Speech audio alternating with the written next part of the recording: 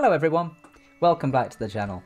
Today we'll be diving into the world of cloud computing to understand the differences between IaaS, PaaS and SaaS, or Infrastructure as a Service, Platform as a Service and Software as a Service using Microsoft Azure as our framework. So let's jump right in.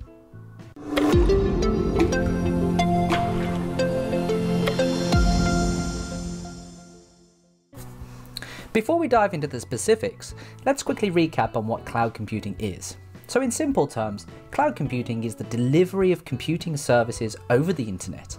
These services can include servers, storage, databases, networking, software, and analytics, among many others. Microsoft Azure is one of the leading cloud service providers, alongside Amazon Web Services and the Google Cloud Platform. Today we'll be using Azure as our example to explore the differences between the three main cloud service models, IaaS, PaaS and SaaS. So first up is Infrastructure as a Service, or IaaS. IaaS provides virtualized computing resources over the internet. It's like renting a virtual computer where you can manage the operating system, the storage, and the networking components. In the context of Azure, the IaaS offerings may include things like virtual machines, blob storage, and virtual networks. You can configure and manage these services according to your needs, but Microsoft takes care of the underlying hardware, maintenance, and repairs.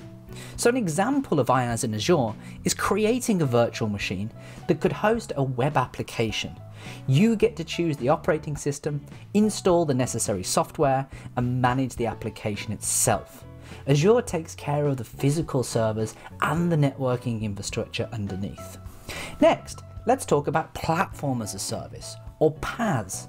So PaaS provides a platform for developers to build, deploy and manage applications without having to worry about the underlying infrastructure. It's a level up from IaaS, as you don't need to manage the operating system or the networking components. So Azure PaaS offerings may include things like the Azure App Service, Azure Functions, and Azure SQL databases. These services come with built-in tools and platforms to support application development and scaling. So as an example, imagine you're developing a web application using Azure App Services. You don't need to worry about the underlying servers or the operating system, as Azure handles that for you. You just focus on writing your code deploying it to the platform, and managing the app itself. Finally, let's explore software as a service or SaaS. So SaaS provides fully managed applications hosted in the cloud and accessible via the internet. You don't need to worry about infrastructure or platform or even application management in this model.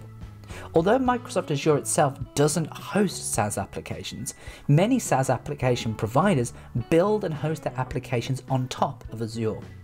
Examples of SaaS applications built on Azure include things like Office 365, which is now known as Microsoft 365, Dynamics 365, and Power BI. So, when using Office 365, you simply access and use the applications such as Word, Excel and PowerPoint without worrying about servers, networking or software updates. The SaaS provider, Microsoft, takes care of everything for you. So to recap, IaaS is like renting a virtual computer, PaaS provides a platform for developers to build and deploy applications, and SaaS delivers fully managed applications over the internet. Each model offers different levels of abstraction and management responsibilities. I hope you enjoyed this quick overview of IaaS, PaaS and SaaS, and you'll join me next time for more in my Azure tutorial series. And you know the routine, hashtag like and subscribe, and I hope you enjoyed this video and will join me next time. Goodbye.